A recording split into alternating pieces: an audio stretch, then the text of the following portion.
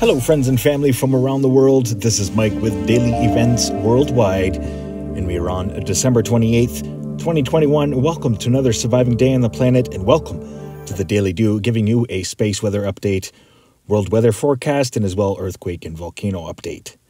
Having a look at the last 48 hours on the sun, 304 angstroms, still watching four active sunspot regions, one of them just producing an M class flare. So we've had two M class flares the last 48 hours, one in the southern region sunspots and one on the northern. Looking at the last 48 hours incoming, there are no more cresting sunspots to talk about. Seems everything has now come around in an earth facing view. Looking at the last 48 hours outgoing, pretty active sunspot outgoing there as well, large plasma filament eruption. And the two M class solar flares right here, one on the right and one on the left. Another closer look at the region where there was this M class solar flare.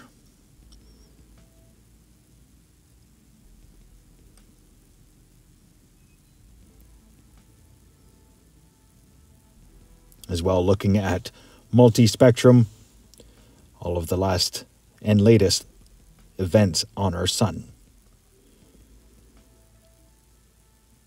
Looking here, 171 angstroms. This is where we can see our coronal holes, which are now coming into an Earth facing view along the equatorial region, so we can expect our solar winds to be increased over the next couple days as it arrives. ISWA spiral is not showing the Earth facing event just yet.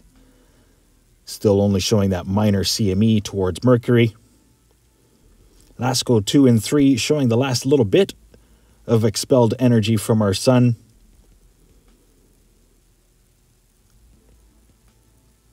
Real time solar winds, we're sitting at about 434 kilometers per second. And that's slightly down from being elevated to about 470 earlier today. 550, sorry, earlier today. We did have a geomagnetic activity elevation and as well elevation with the flare class up into the M class. Looking at the highest frequency absorption map here, you can see South America took a major hit. Schumann resonance for today, a power of 19. Not much has changed since yesterday.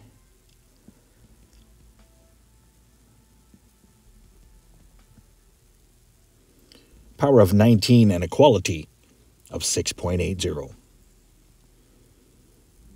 Looking at earthquakes here the last 24 hours, pretty calm.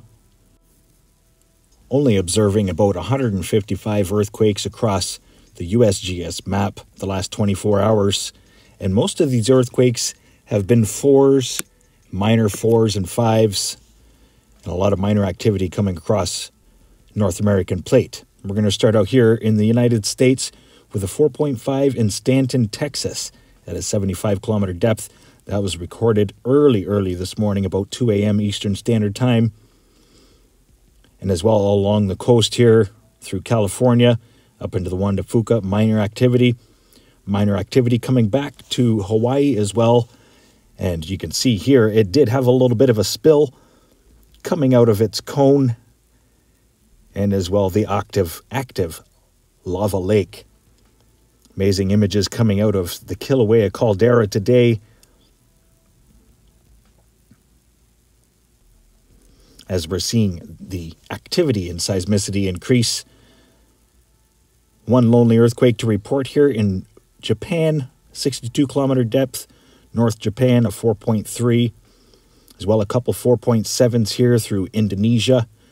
4.4 there in the Philippines, very close to the Taal volcano. So definitely going to be keeping an eye on that. Santa Cruz, Philippines with a 4.4, 75 kilometer depth. Still seeing earthquakes up into the Indian Ocean region. 4.7 there, Nicobar Islands, as well Carlsberg, Carlsberg Ridge, seeing a 4.7 and a 4.6, leading down into Piton de la Fournaise who has most recently erupted. As well, looking at Jurm, Afghanistan, 4.2, 213 kilometer depth. And then our deepest earthquake today to report Fiji, 4.6, Levuka, Fiji, at a 576 kilometer depth. And that is our deepest earthquake to report the last 24 hours. A couple notable earthquakes here New Zealand, Blenheim, New Zealand, both reporting a 4.5. Very quiet across the South American plate as well. Only reporting here this 4.6 in Ecuador, Tena, Ecuador at a 29 kilometer depth. Minor activity continuing through Puerto Rico, Dominican Republic.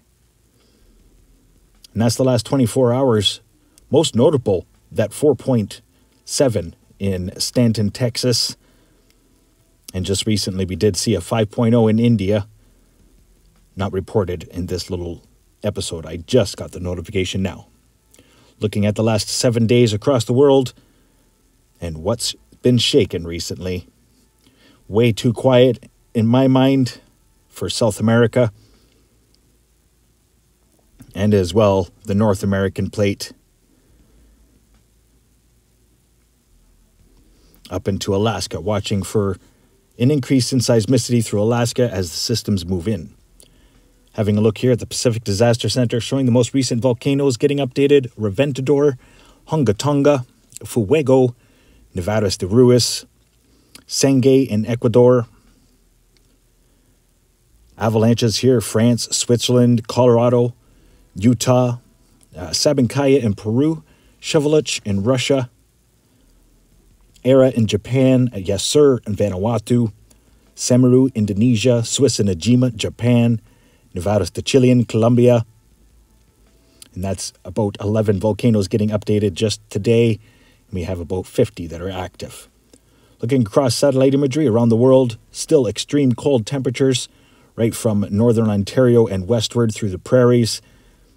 Extreme colds even being reported in British Columbia and dangerously extreme cold through Alberta and Saskatchewan. Overlooking the Pacific Ocean, big high pressure ridge building in off the coast there, North America. Some pretty wet systems heading through the Mediterranean, and we'll be heading into parts of Iraq this week. And as well, most of the moisture moving out of South Africa other than that, no major weather events to talk about, nor cyclones or hurricanes. Having a look at the five day forecast here, brought to you by MeteoEarth and as well daily events worldwide. Starting out here in Ontario, still above seasonal te- temperatures, and high pressure ridge has pretty much smashed all of the moisture out of the air from this system that was projected to come through. And they were expecting us to see about three centimeters, but high pressure ridge wins again and then watch as we have this Colorado low coming into Ontario for Saturday, Sunday. And not quite sure, but it looks like it's going to be rain here for parts of southern Ontario and snow for northern. But the line's going to be going right through central Ontario. Cold temperatures behind that, so watch for that to move into Ontario. In the long range forecast, we do have some real winter temperatures. Pointing out the temperatures here through Alberta up into the Yukon,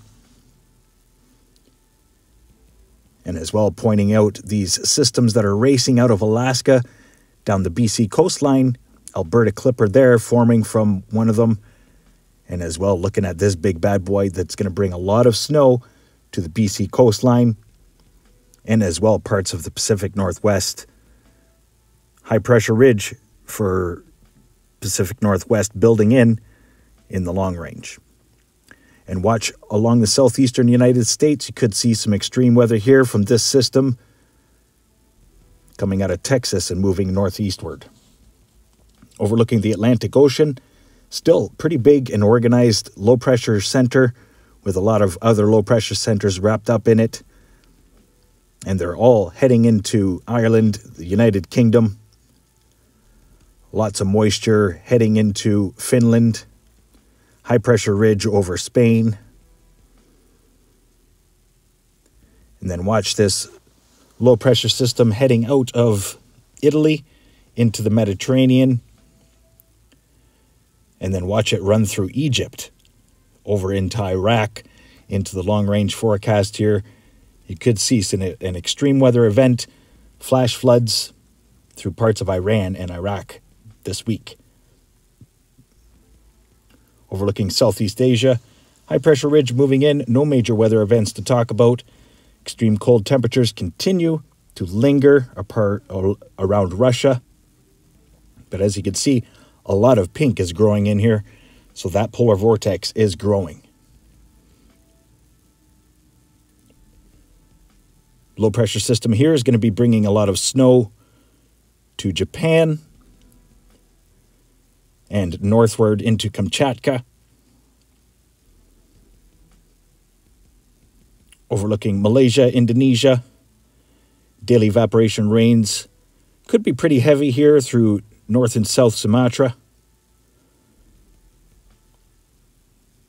Overlooking Australia, low pressure system moving away from the continent out into the ocean, and daily evaporation rains, unsettled conditions through parts of Northern Territory. High pressure ridge for New Zealand drying things out most of the week. Long line of moisture here stretching from the equator down to the Antarctica. And then a low pressure system here will be bringing a few days of rain towards the Hawaiian Islands. South America, no major weather events to talk about. Daily evaporation rains, long line of moisture heading out the Argentina Brazil border. Africa, system heading into northern parts, but going to jet east through Egypt. Other than that, most of the systems have moved away from the continent. Daily evaporation rains through southern parts. Going to leave you here looking at the southern hemisphere versus the northern, pointing out the major lows spinning on our planet right now. I want to thank you all for watching, and if you've made it this far, please get in the comments section, tell me how much you love the video, and don't forget to smash that like button. Much love to everybody. Again, we've got some big systems here brewing across the northern hemisphere, hence, northern hemisphere has gone beast mode. Look at these systems. Thanks for watching today. Stay aware and prepared. Stay young and have fun. And get your daily events worldwide. Bye bye now.